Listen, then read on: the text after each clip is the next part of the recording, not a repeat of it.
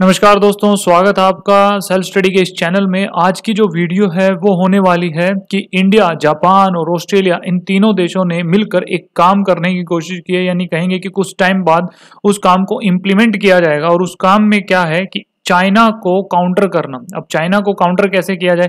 जैसे चाइना की इकोनॉमी जो बूम कर रही है उसकी की तरह इंडिया जापान और ऑस्ट्रेलिया की जो इकोनॉमी है, उसे बूम किया जाए, जो चाइना जो सप्लाई कर रहा है, जो जिसने, जो एक ही ऐसा देश है जो सप्लाई को पहचान के बैठा हुआ है, उस सप्लाई चेन को तोड़कर इंडिया और जापान ऑस्ट्रेलिया के अंदर शिफ्ट किया जाए।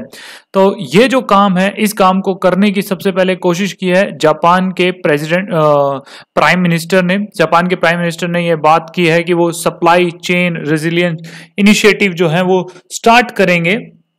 जिससे क्या होगा, जो सप्लाई जो चाइना के चाइना में ज़्यादा है, उस सप्लाई को तोड़कर इन तीनों देशों में शिफ्ट किया जाए। आज की इस वीडियो में इन सब चीज़ों को देखने वाले और बारीकी से डिस्कस करेंगे। चलिए फिर शुरू करते हैं।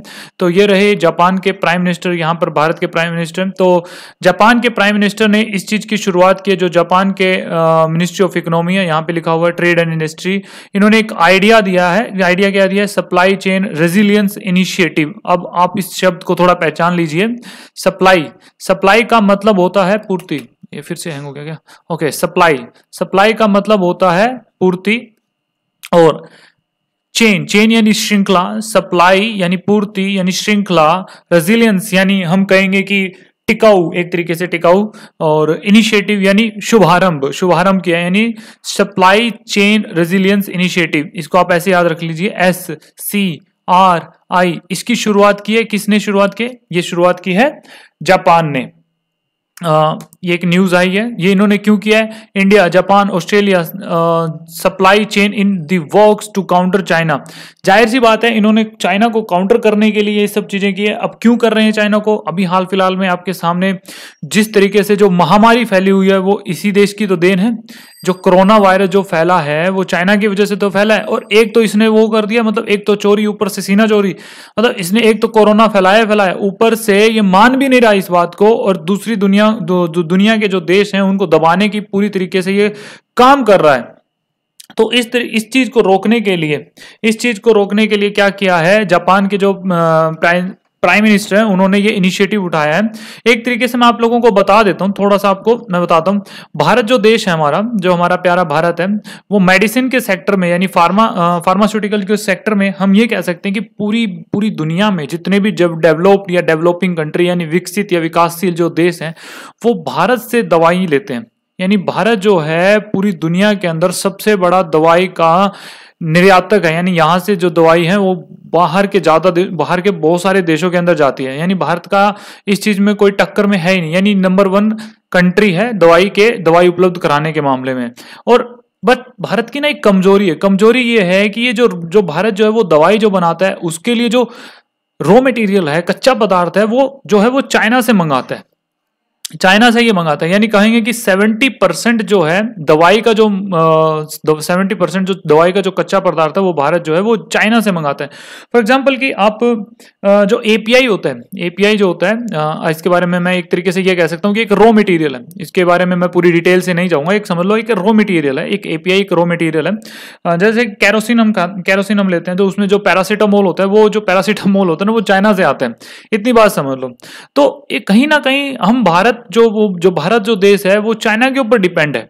अब इस चीज़ के डिपेंड इस चीज़ को जो ये बात जो है, वो हम डिपेंड हैं या कौन सी देश किस चीज़ के लिए डिपेंड है या चाइना जो है, वो किस चीज़ को सप्लाई कर रहा है, ये जो चीज़ें हैं ये जो चार कम, चार जो देश थे, ऑस्ट्रेलिया ऑस्ट्रेलिया हो गया, इंडिया, जापान और अमेरिका, ये चारों देश जो है ना, वो ये चीज़ें समझ चुके थे। अब दूसरी चीज़ों को देखो, जापान, ये जो चाइना जो है इसको ना मैं बहुत बारीकी से समझाता हूँ, एक बार थोड़ा सा आपको अपने पास्ट के अंदर लेके जाते हैं, अपने इतिहास के अंदर लेके चलते हैं। इतिहास का मतलब कि दादा भाई नोरोजी जो थे इस चीज़ को समझना थोड़ा। दादा भाई नोरोजी थे, उन्होंने ना एक उनकी एक थ्योरी थी, इकोनॉमी ड्रेन थ्योरी, जो दादा भाई नौरोजी की थी। उन्होंने क्या किया था? उन्होंने ये बताया था कि ब्रिटेन जो था, भारत में जो आया था, ब्रिटेन जो भारत में आया था, और उसने भारत के भारत के अंदर आके जो भारत का जो व्यापार खत्म करके यहाँ के लोगों को बेरोजगार बना दिया, यहाँ के जो रुपए खत्म कर दिए, उन्होंने अपनी इस थ्योरी के अंदर बहुत अच्छे से समझाया हुआ है। उन्होंने जब बताया कि जो ब्रिटेन वाले जो भारत के अंदर आए थे 1700 के आसपास आए थे 1730 1757 ऐसे इसके आसपास आए थे। 1700 के आसपास आए थे तो एक जो भारत से बना हुआ जो खादी कपड़ा है, खादी का जो कपड़ा है, जो ब्रिटेन में जो जाता था, बाहर के देशों में जा, जाता था तो वहाँ पर जो लोग पहनते थे तो उस बहुत गर्व महसूस करते थे, बहुत अपने आप को मतलब रिच समझते थे कि वो भारत का जो कपड़ा पहनते हैं। अब इस चीज़ को इन्होंने, जो ब्रिटेन वालों ने इस चीज़ को समझ लिया था। तो भारत में आए, भारत से जो कच्चा माल लिया, यहाँ से कच्चा माल लिया और इन्होंने कच्चा माल लेके गए अपने देश के अंदर, अपने देश के अंदर और वहाँ पे इन्होंने क्या लगाए? वहाँ पे लगाई इन्होंने मशीनें, मशीनों से जो कच्चा माल है वो वापस ला के जो मशीनों से जो कच्चा माल लेके गए अपने देश में देश में मशीनों से उस कच्चे माल से कपड़े बनाए, कपड़े बना के वापिस अपने देश के अंदर लेके और ये जो ये जो माल है वो बहुत सस्ता था और इस सस्ते माल को इन्होंने अपने ही, हमारे जो भारत देश में बेचना शुरू कर दिया। जिससे जो ये खादी का जो माल था, जो वहाँ हथकरघा से बनता था, जो हाथ से बनाया जाता था, वो महँगा होता था। तो लोगों ने क्या किया, जो ये बाहर से बना हुआ माल है, इसको लेना शुरू कर दिया। जिससे क्या हुआ, जो हमारा जो व्यापार है, वो खत्म होना शुरू हुआ और हमारे ही व्यापार के कारण अनएम्प्लॉयमेंट जनरेट हुआ, पैसे खत्म हुए, लोग जिससे बेरोजगार होने शुरू हो गए। और यही काम जो है, वो चीन कर रहा है। यही काम जो है, वो चीन ने कर रखा है। फॉर एग्ज़ाम्पल मैं बताता हूँ, देखो, चीन से ज़्यादातर सप्लाई के अंदर हमारे पास क्या क्या आता है? चीन से जो, चीन जो है, जापान जो है, इस चीज़ को समझ चुका है। देखो, चीन से जो, एक तो आता है मोबाइल। यानी जो मोबाइल हो गए, जो इलेक्ट्रॉनिक सामान हो गए, जो इलेक्ट्रॉनिक सामान हो गए। इलेक्ट्रॉनिक सामान हो गए, एक ये हो गया, एक फैब्रिक हो गया। फैब्रिक जिससे कपड़ा बनता हो गया। एक फार्मास्यूटिकल्स जो हो गए, जैसे मैंने कहा, जो हम रॉ मटेरियल लगाते हैं तो फार्मास्यूटिकल हो गए। एक स्टील का जो हो गया, एक स्टील का जो रॉ मटेरियल हो गए, वो आता है यहाँ पे। और एक होता है rare earth metal rare earth metal rare earth metal जो है वो चाइना से आता है। ये रेयर अर्थ मेटल क्या होता है? जो हम बैटरी जो होते हैं हमारे फ़ोन के अंदर लिथियम जो बैटरी होती है, उसके अंदर ये रेयर मेटल डलता है। और रेयर मेटल के जो भंडार है सबसे ज़्यादा इस चीन के अंदर है। तो इस चीज़ को जो है वो जापान जो है वो समझ चुका है। अब एक बार थोड़े से ना मैं आपको फैक्ट बताता हूँ कि चाइना जो है इतना बड़ा मार्केट कैसे बन गया कि अभी फ़िलहाल आप जानकर हैरान हैरान हो जाओगे इस चीज़ के अंदर कि 2003 के अंदर 2000 ये फिर से ओके क्या यार 2003 के अंदर वर्ल्ड ट्रेड के अंदर वर्ल्ड ट्रेड के अंदर मतलब कि पूरे पूरी दुनिया में जो व्यापार होता था 2003 में, उसमें चीन का जो, चाइना का जो हिस्सा था 6.3 परसेंट था, यानी 7 परसेंट भी हिस्सा नहीं था। और 2017 के आंकड़े हैं। 2017 के आंकड़ों के अनुसार जो चीन का, जो पूरी दुनिया के अंदर व्यापार होता है, वो होता है 23.9 परसेंट यानी 24 परसेंट मैं ये कहूँगा कि अगर पूरी दुनिया में अगर 100 सामान जो है, उन 100 सामानों का जो व्यापार होता है, पूरी दुनिया के अंदर जो 100 सामानों की ज़रूरत होती है, उसमें से 24 सामान जो है, वो चीन के बने हुए होते हैं। क्योंकि चीन जो है, ये सप्लाई जो है, वो अच्छे से समझ चुका है कि किस चीज़ को क्या सप्लाई चाहिए। अब इस चीज़ को देखो हमारे देश की जो 2004 के आसपास मैं बताता हूँ 2000 के जो बच्चे होंगे जो 2000 या 2003 के जो आसपास के जो बच्चे होंगे उनको अच्छे से पता है कि जो उस टाइम जो लड़ी जो आती थी जो दिवाली में जो हम लड़ियाँ लगाते थे जो झूमर लगाते थे वो जो थी वो भारत की बनी हुई होती थी। आज का ये हाल हो गया या फिर जो हम कहेंगे उस वक्त का जो रंग होता था जो होली के जो, जो हम रंग यूज़ करते थे जो मांझा था जो पतंग उड़ाने के लिए जो मांझा यूज़ किया करते थे वो एक फिक्स होता था वो हमारे देश से बना हुआ होता था। लेकिन आज का माहौल ऐसा हो गया है कि अगर हाल फ़िलहाल में जैसे बाइकआउट चाइना बाइकआउट चाइना का जो नारा लगा था हाल ऐसा बना कि बाइकोट चाइना की जो टी शर्ट है, वो भी चाइना से बन के आ रही है। मतलब हम इतने डिपेंड हो गए चाइना के ऊपर। इतने डिपेंड हो गए कि जो बाइकोट चाइना है, उसकी जो टी शर्ट है, वो भी चाइना से बन के आ रही है। अब झूमर ले लो, वो इतनी सस्ती जो है, वो चाइना प्रोवाइड कर रहा है भारत को। तो भारत इतना ज़्यादा इसके ऊपर डिपेंड हो गया। और इस चीज़ को समझ के, इस चीज़ को सबसे सबसे पहले समझा किसने कि ये जापान के जो प्राइम मिनिस्टर, इन्होंने समझा है कि कितनी ज़्यादा सप्लाई जो है किस किस की सप्लाई जो है, वो चीन जो है दूसरे देशों को कर रहा है। और उस, जब तक उस सप्लाई को तोड़ा नहीं जाएगा, तब तक कोई भी देश जो है इसको काउंटर नहीं कर सकता। तो अब ये करेंगे क्यों? क्योंकि भाई साफ़ सी ज़ाहिर सी बात है कि कोरोना इस देश ने फैलाया और जैसे तैसे ये जो दूसरे देशों को दबाने के आसपास के देशों को, जैसे छोटे मोटे जो देश हो गए, जैसे कि हो गया पाकिस्तान जिसको डेप ट्रैप की पॉलिसी के अंदर फंसा रखा है। ये बांग्लादेश उसको भी ऋण जाल के अंदर ये फंसाने की पूरी कोशिश कर रहा है। और भी बाकी जो छोटे मोटे देश हैं, उन देशों को जो है ये अपने अंदर मिलाने की या दबाने की पूरी तरीके से कोशिश कर रहा है। और इन सब चीज़ों को तो ये छोटे मोटे देश समझ नहीं पा रहे हैं, जो इस चाइना की जो चाल है, इस चीज़ को समझ नहीं पा रहे हैं। लेकिन जो भी, जो मैंने देश बचाए, जो चार जो देश थे, जैसे हमारे जो देश हो गए, भारत हो गया, या फिर जापान हो गया, ऑस्ट्रेलिया हो गया, अमेरिका हो गया, ये देश निकले समझदार। इन देशों ने इसकी जो चाल है, वो अच्छे से समझ ली और ये समझ के ये बनाने ये बन गए कोड। कोड के जो एक कंट्री बनी, इन कोड की कंट्री में से ये तीन जो देश जो निकल के आए, जापान, ऑस्ट्रेलिया और भारत, इन्होंने क्या किया? एक इनिशिएटिव उठाया सप्लाई चेन रेजिलियंस इनिशिएटिव जिससे जो है ये जो सप्लाई है, ये जो तोड़ी जाएगी चाइना से और उस चीज़ को तोड़कर ये शिफ्ट किया जाएगा भारत के अंदर या जापान के अंदर और ऑस्ट्रेलिया के अंदर। फॉर एग्ज़ाम्पल जैसे कि जो कच्चा पदार्थ जो है, कपास जो है वो कपड़े बनाने के लिए हम कपास जो यूज़ करते हैं और कपास को जो है वो भारत के अंदर प्रोडक्शन उसकी ज़्यादा की जाएगी और भारत को अब मार्केट चाहिए, भारत को मशीनें चाहिए वो तो वो जो है वो अब जापान के अंदर उसे मिलनी शुरू हो जाएँगी।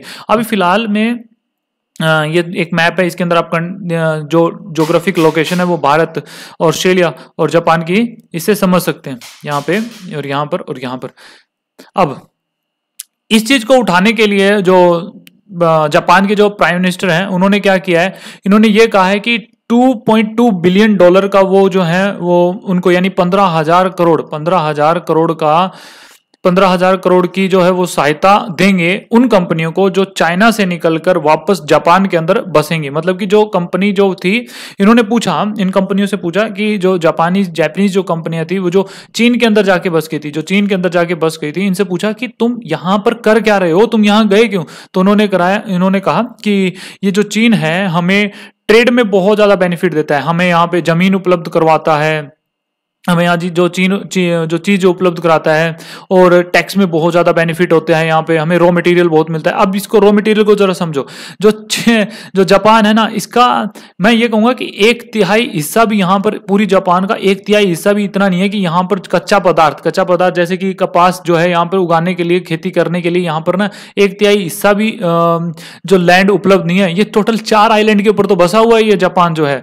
चार आइलैंड के बस चार आइलैंड पे बसा हुआ है तो इन्होंने अपने आप को जो ग्रो कर रखा है अपने आप को टेक्निकल यानी इनोवेटिव में मोस्ट इनोवेटिव कंट्री आती है जापान। इनोवेशन के अंदर अपने आप को स्ट्रॉन्ग कर रखा है। पूरी वर्ल्ड के अंदर तीसरे नंबर पे इसकी इकोनॉमिक ट्रेड इकोनॉमी आती है। इसकी मतलब लार्जेस्ट इकोनॉमी के रूप में देखा जाता है जापान को पूरी दुनिया के अंदर। अब इनके पास खेती के लिए तो जगह है नहीं। तभी तो इन्होंने, जब विश्व युद्ध दो हुआ था, तब इन्होंने क्या कहा था? विश्व युद्ध के दो दौरान के दौरान उस टाइम के तो इन्होंने चीन के ऊपर अतिक्रमण कर लिया था, साउथ कोरिया के कोरिया के ऊपर अतिक्रमण कर लिया था, मलेशिया के ऊपर इन्होंने इनके ऊपर अतिक्रमण कर लिया था। ताइवान के ऊपर अतिक्रमण कर लिया था क्योंकि इनको जाप, जापानीज को क्या था खेती करनी थी खेती करने के लिए इनको ज़मीन चाहिए थी तब यहाँ पे अतिक्रमण कर लिया था। तो तब वहाँ पर जो है अब इनके पास ज़मीन तो है नहीं एक एक तिहाई हिस्सा भी इनके पास ज़मीन नहीं है। टोटल चार आइलैंड के ऊपर बसा हुआ देश है। तो इन्होंने तो अपने आप को टेक्नोलॉजी में स्ट्रॉन्ग कर लिया जापानीज ने। और अब इनको ज़मीन चाहिए इनको क्या चाहिए इनको कच्चा पदार्थ चाहिए तो इसलिए ये भारत को मिला रहे हैं क्योंकि भारत के पास आपको पता है कि अच्छी खासी जो है वो रॉ मटेरियल है, वो यहाँ पे रॉ मटेरियल को बढ़ावा देगा प्रोडक्शन के अंदर बढ़ावा देगा, जिससे क्या होगा कि ये जो अपना इनको जो है वो मार्केट मिल जाएगी जापान के अंदर। जापान ये भी कह रहा है कि जो भी कंपनी भारत जो भी कंपनी चीन से निकल कर जो जापान में आएगी, उसको टू बिलियन यानी पंद्रह करोड़ का तो वो सहायता देंगे। ऊपर से उनको मार्केट भी प्रोवाइड कराएँगे। वो मार्केट क्या प्रोवाइड कराएँगे? वो भारत के अंदर, ऑस्ट्रेलिया के अंदर। ये कह रहे हैं कि कम से कम हम तीन देश तो आपस में मिल जाए। हम तीन देश आपस में मिलकर इस चीन की जो ये जो करने की जो कोशिश कर रहा है, जो दूसरे देशों को दबाने की कोशिश कर रहा है, उस जाल के अंदर तो ना फंसे उसको कहीं ना कहीं काउंटर करने की कोशिश की जाए तो मैं कहूँगा कि एक बहुत अच्छी जो जो प्राइम मिनिस्टर जो जापान के प्राइम मिनिस्टर है, उनके द्वारा जो ये कदम उठाया गया, बहुत ज़बरदस्त है। आने वाले टाइम में देखते हैं कि ये किस तरीके से आगे इन मतलब ग्राउंड लेवल पे इसको इम्प्लीमेंट किया जाएगा।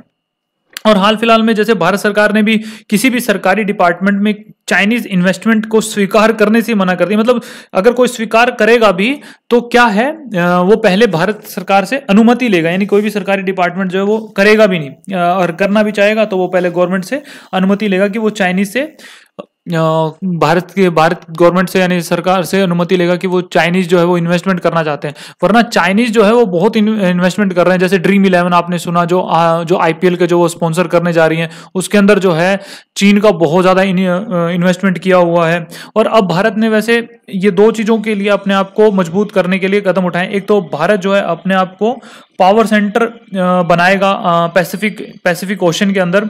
और जो दो है दो काम करेगा, एक तरीके से पावर सेंटर बनाएगा, दूसरा बड़ी बड़ी कंपनियों और देशों के साथ मिलकर ये काम करेगा।